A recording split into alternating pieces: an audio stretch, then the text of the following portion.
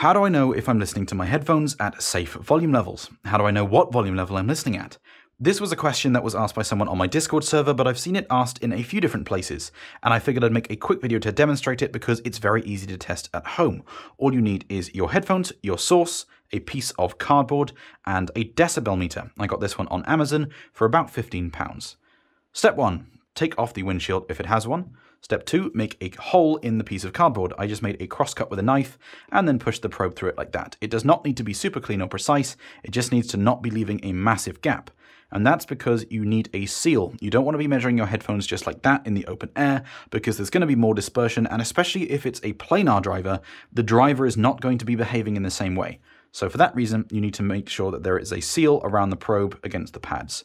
So once you have your measurement rig ready, which of course, this is not intended to be super precise. If you want to do really precise measurements, get a proper headphone measurement rig. This is just intended to give you a close ballpark figure of what level you're listening at, and if you are listening at safe volume levels.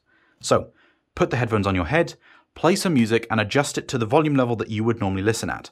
Go on the slightly louder side of things because you don't want to be going too quiet and cheating yourself. Go, go for what you would normally listen at or consider slightly loud.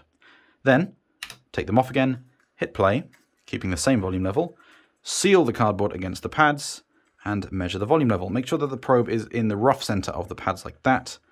Now you can get a continuous measurement. I would recommend though that you put it on max mode. This will measure the peak volume level.